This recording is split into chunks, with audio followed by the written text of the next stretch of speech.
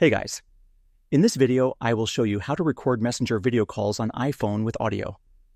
All right, let's begin. To record Messenger video calls on an iPhone with audio, you can utilize the built-in screen recording feature in conjunction with the Voice Memos app. Open Messenger and start your video call. Swipe down from the top right corner of your iPhone to open the control center. Press and hold the screen recording button. Tap the microphone icon to enable audio recording. Tap Start Recording. Record audio simultaneously. Open the Voice Memos app. Start recording a new memo before or as soon as the Messenger call starts. Stop recording. End the Messenger video call.